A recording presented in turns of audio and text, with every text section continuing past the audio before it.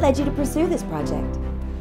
Well, now that we're done, it's funny to get that question because the project evolved as we worked on it. The desire to see an objective survey of libertarianism, not from this faction or that faction of historians with one predetermined perspective or another, nor the other extreme of the pure filmmaker who produces a beautiful frame and impressive graphics, but the narrative is derivative and has all the usual omissions and erroneous inclusions.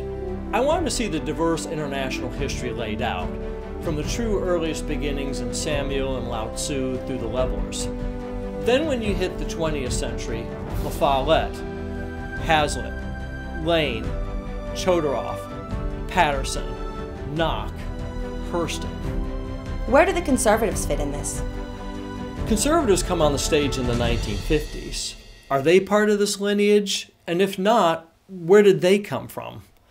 Is libertarianism now progressivism or a branch of it? How does the Libertarian Party go from serious intellectuals such as Rothbard, Hospers, and Nolan to two billionaires and a flaky pot farmer? From the true beginnings to today, 3,000 years in 90 minutes. Why is that so hard?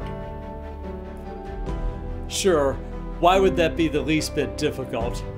Beats me, but now it's finally here.